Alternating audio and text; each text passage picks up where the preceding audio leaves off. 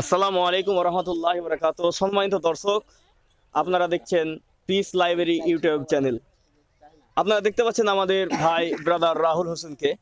বিশেষ করে উনি আমাদের সামনে যে বিষয়টি নিয়ে আলোচনা করবেন, সেটা হচ্ছে কালো জিরা সম্পর্কে। বিশেষ করে কালো জিরা তেল যে আমরা পিস লাইব্রেরি থেকে hundred percent natural hundred percent খাঁটি আপনাদেরকে উপহার দিয়ে থাকি, সেই সম্পর্কে উনি সংক্ষিপ্ত আলোচনা করবেন আমাদের ভাই ব্রাদার রাহুল হোসেন। আসসালামু আলাইকুম রহমতুল্লাহি বরকাতুহু, নাহমাদুহু নসাল্লি আলা রাসূলিহিল কারীম, আম্মা বাদ।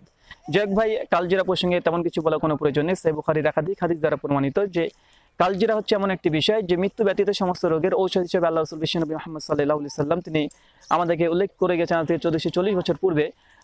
বর্তমান প্রেক্ষাপটে বিজ্ঞান বিভিন্ন রকমের গবেষণা করে তারা এই সিদ্ধান্ত উপনীত হয়েছে যে কালজিরা হচ্ছে এমন একটি তেল বা কালজিরা যদি প্রতিনিয়ত সেবন করে, অবশ্যই তার সমস্ত অধিকাংশ রোগ থেকে সে বালা মুসিবত থেকে সে দূরে থাকতে পারে।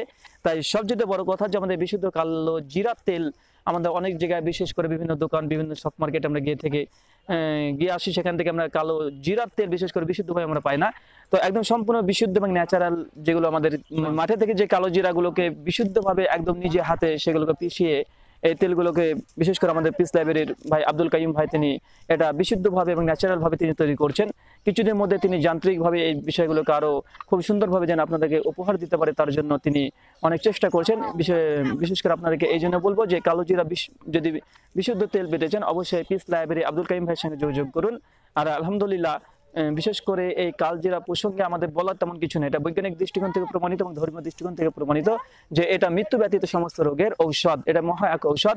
অবশ্যই আমরা প্রতিনিয়ত এগুলোকে সেবন করতে পারি। আলহামদুলিল্লাহ বিশেষ করে আমাদের ব্রাদার রাহুল ভাইকে আমি বিশেষ করে এই যে বোতল দুটো কালোজিরা তেলের আমি উপহার দিচ্ছি।